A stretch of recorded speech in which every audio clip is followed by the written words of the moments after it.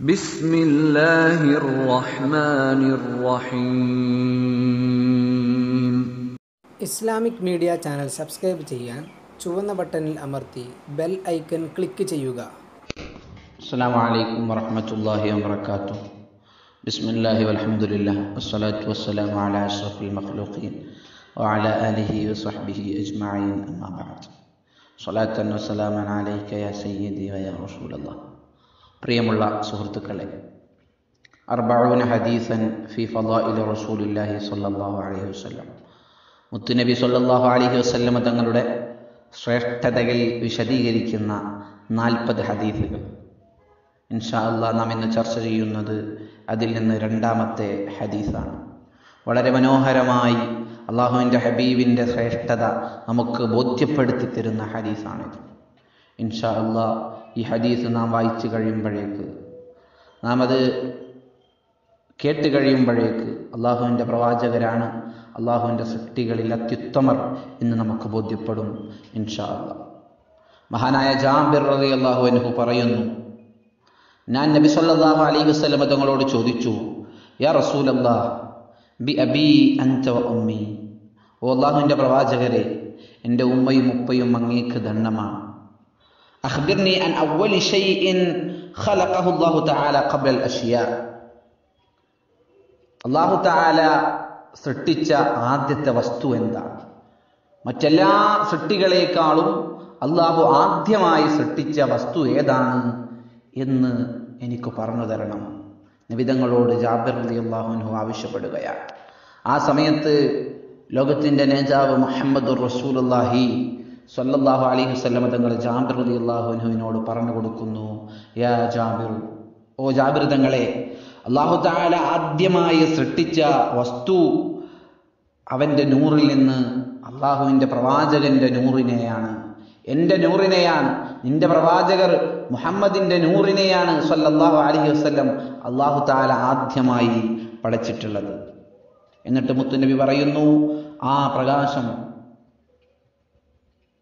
അള്ളാഹു താല ഉദ്ദേശിച്ച സ്ഥലങ്ങളിലൊക്കെ അതിങ്ങനെ കറങ്ങുകയാണ്. വലം യക്കുൻ ഫീ ദാലിക്കൽ വഖ്തി ലൗഹൻ വലാ ഖലം. ആ സമയത്ത് ലൗഹോ കലമോ ഒന്നും ഉണ്ടായിരുന്നില്ല വല ജന്നച്ചുൻ വലാനാ സ്വർഗമോ നരകമോ ഇല്ല. വല മലക്കുൻ അള്ളാഹുവിന്റെ മലക്കുകളുമില്ല.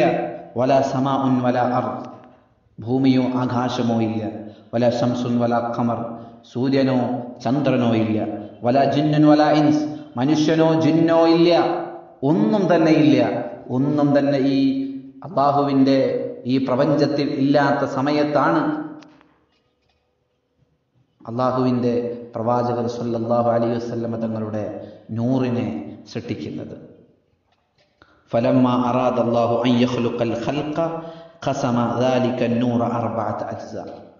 അങ്ങനെ അള്ളാഹു താല മറ്റു സൃഷ്ടികളെ സൃഷ്ടിക്കാൻ ഉദ്ദേശിച്ചപ്പോൾ ഈ പ്രകാശത്തെ നാല് ഭാഗങ്ങളാക്കി തിരിച്ചു. ആ നാല് ഭാഗങ്ങളിൽ ഒരു ഭാഗം കൊണ്ട് കലമിനെ സൃഷ്ടിച്ചു. രണ്ടാമത്തെ ഭാഗം കൊണ്ട് ലൗഹിനെ സൃഷ്ടിച്ചു. മൂന്നാമത്തെ ഭാഗം കൊണ്ട് അർഷിനെ സൃഷ്ടിച്ചു. അള്ളാഹുവിന്റെ സൃഷ്ടികളിൽ ഉന്നതമായ സൃഷ്ടികളാണ് നാം ഈ പറഞ്ഞത്. കലമും ലൗഹും അർഷും. അതിനെ ഓരോ ഭാഗങ്ങളെ കൊണ്ട് സൃഷ്ടിച്ചു. അങ്ങനെ നാലാമത്തെ ഭാഗത്തെ വീണ്ടും നാല് ഭാഗങ്ങളാക്കി തിരിച്ചു. അതിൽ നിന്നുള്ള ഒന്നാമത്തെ ഭാഗം കൊണ്ട് അറസിനെ വഹിക്കുന്ന മലക്കുകളെ അള്ളാഹു സൃഷ്ടിച്ചു.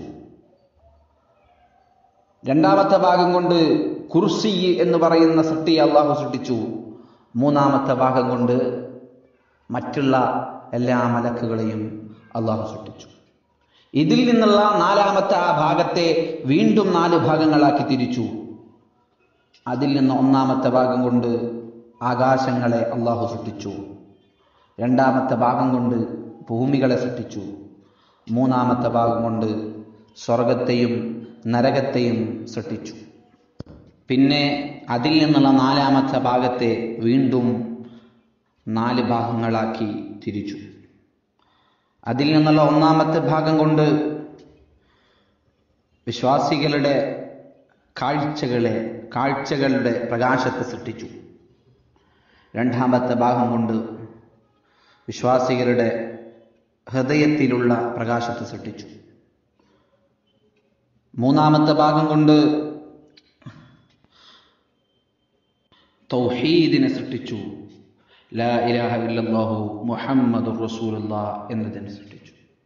പ്രിയമുള്ള മുഹിബുകളെ ഈ ഹദീസ് നാം ചെറിയ രൂപത്തിൽ വായിച്ചു കഴിഞ്ഞപ്പോൾ നമുക്ക് ബോധ്യപ്പെടുന്നത് അള്ളാഹുവിന്റെ ഹബീബ് സൊല്ലാഹു അലി വസല്ലമ തങ്ങളെക്കാൾ മഹത്വമുള്ളതായി ഉന്നതമായി ഈ ഭൂമി ലോകത്ത് യാതൊന്നും തന്നെയില്ല. ഇൻഷാ അള്ളാഹ് വരും ഹദീസുകളിൽ ഒരുപാട് കാര്യങ്ങൾ നമുക്ക് ബോധ്യപ്പെടാനുണ്ട്. അള്ളാഹു താല ഹബീബായ മുത്തുനബിയെ ആത്മാർത്ഥമായി സ്നേഹിക്കാൻ നമുക്കൊക്കെ തൗഫീഖ് നൽകട്ടെ. അതിനുള്ള ഒരു കാരണമായി അള്ളാഹു നമ്മിൽ നിന്ന് ഈ പ്രവർത്തനത്തെ സ്വീകരിക്കട്ടെ. അസ്സലാമലൈക്കും വറഹമത്തുള്ള